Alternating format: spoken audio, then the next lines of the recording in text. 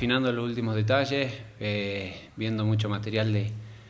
como de costumbre, como hacemos siempre, del equipo contrario, tratando de ver sus defectos y sus virtudes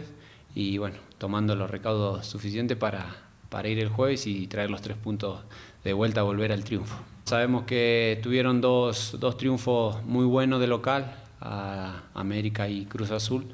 pero después ya le costó, así que eh, bueno, vamos a aprovechar eso, que, que, por ahí están un poco de caída y nosotros trataremos de levantarnos otra vez. Sí, sí, claro, siempre uno, uno quiere anotar, eh, se están dando las situaciones, el equipo está creando, así que hay que, estar, hay que ser más contundente en la zona delantera, que es lo que, lo que estuvimos hablando, y bueno, también eh, afinar la,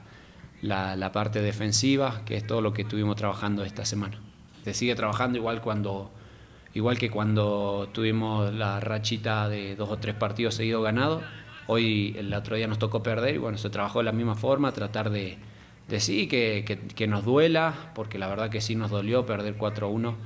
más allá de los tres puntos fue el, es como eh, perder bueno, esa, esa animación de, y buena, buena vibra que se sentía cuando se venía ganando, venían siendo casi 20 días de